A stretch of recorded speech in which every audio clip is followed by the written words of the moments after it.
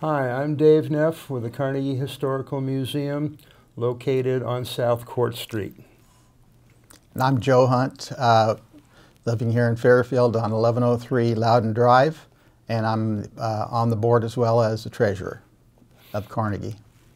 The one thing is that we've known each other all the way back into the 1960s when we were at Parsons College, and now we get a chance to share our ambition to help with the history of Fairfield and keep the Carnegie Public Museum uh, in motion on that.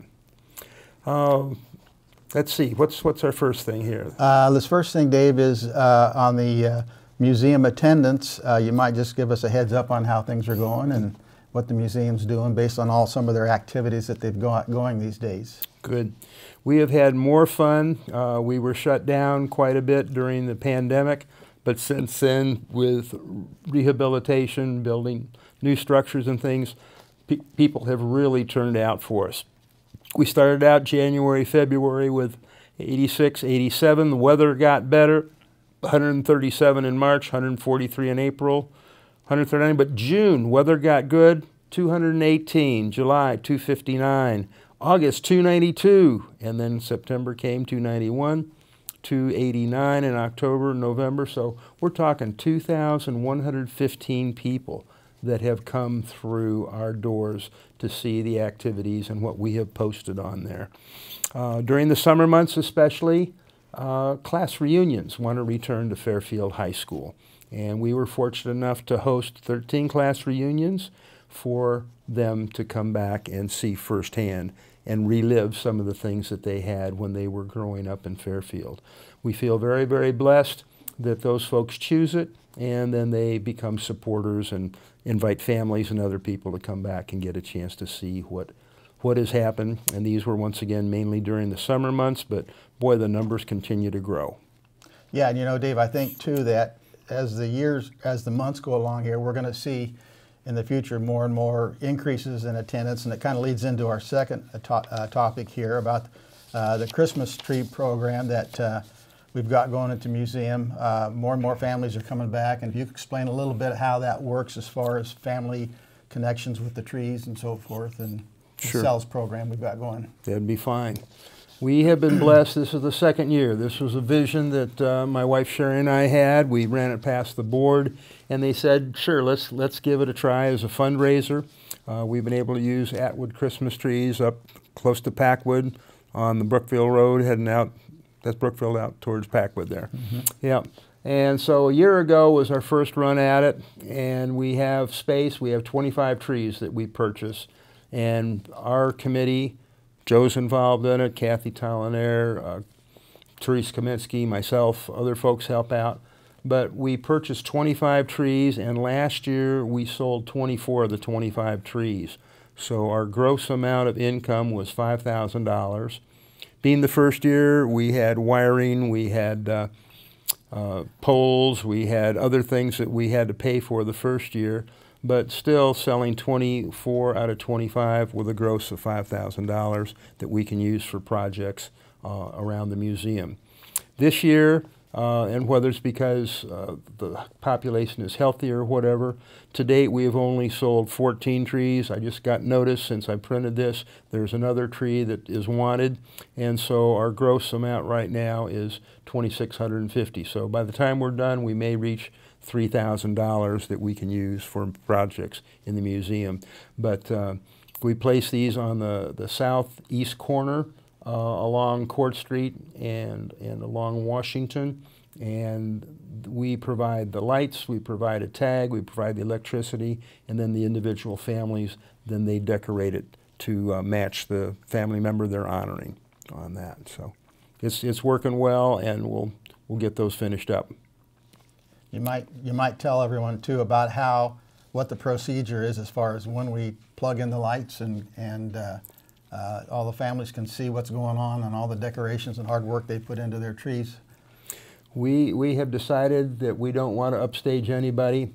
The uh, Chamber of Commerce, the Fairfield Lighting Committee on the square, they work so hard at it, so we coordinate.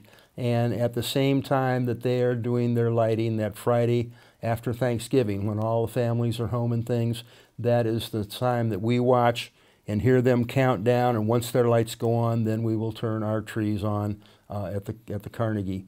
Uh, we will leave them up through the New Year's, and during that after that first week uh, of the New Year, we ask that the uh, families that have done the decorations uh, please come and pick them up. And by that next weekend, then we're ready to remove them and uh, get the posts out of the ground and store the cords and the lights until next year.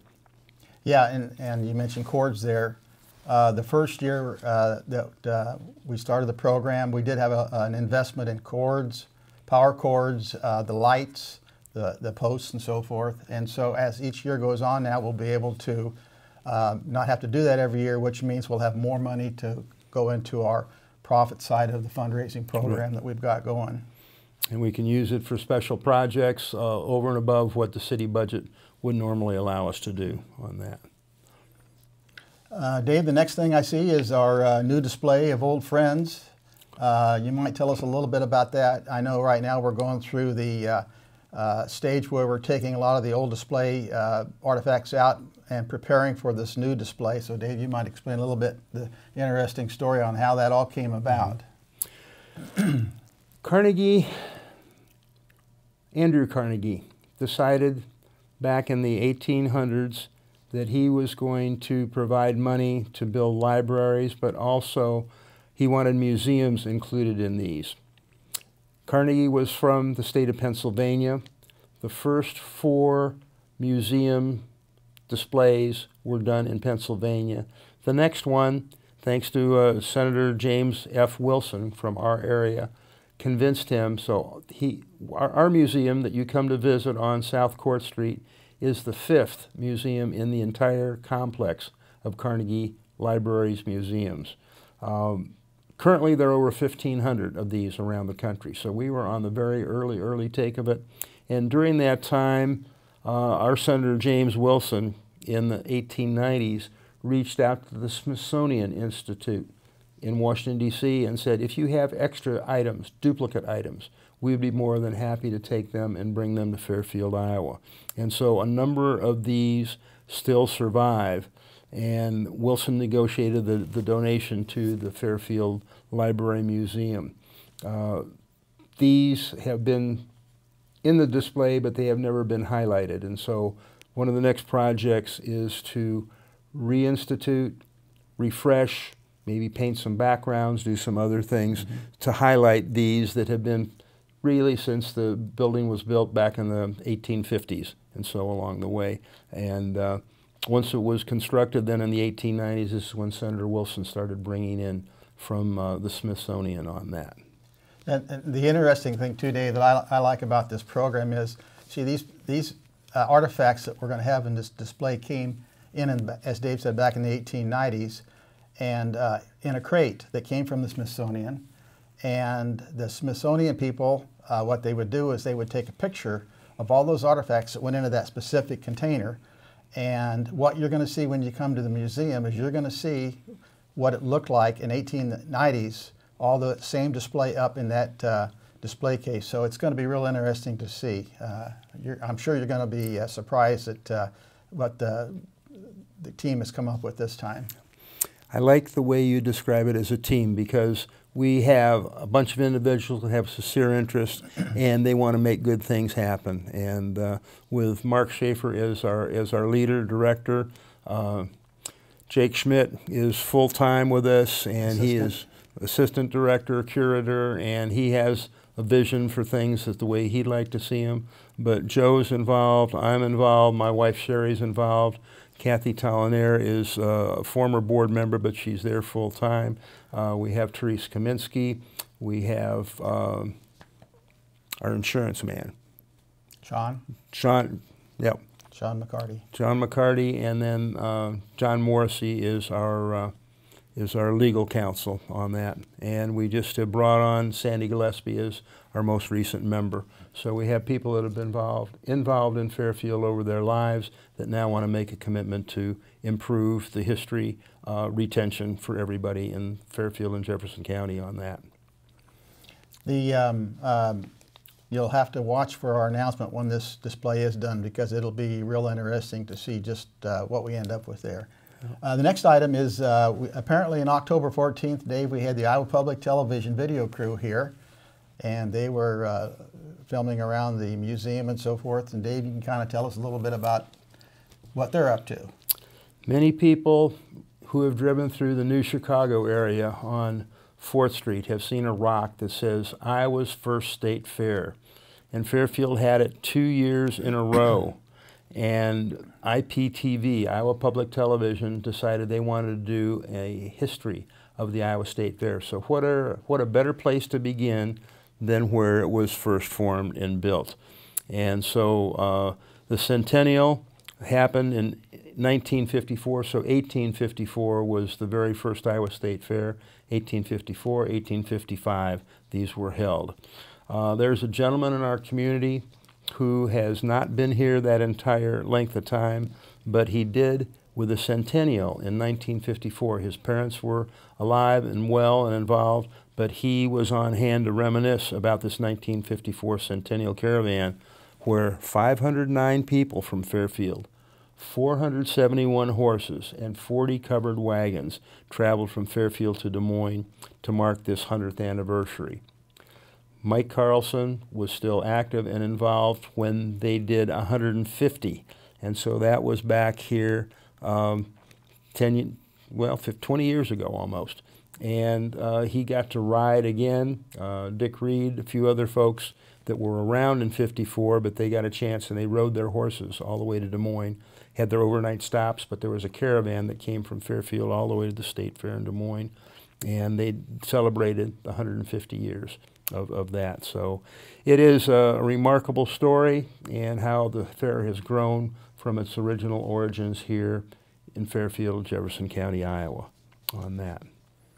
And Dave, also there's, uh, if you're around the museum, you'll hear the word past perfect. And um, th this has been a software program that we put into the museum that helps us track artifacts. And Dave, you might give us a little background just how what our progress is and where we're headed.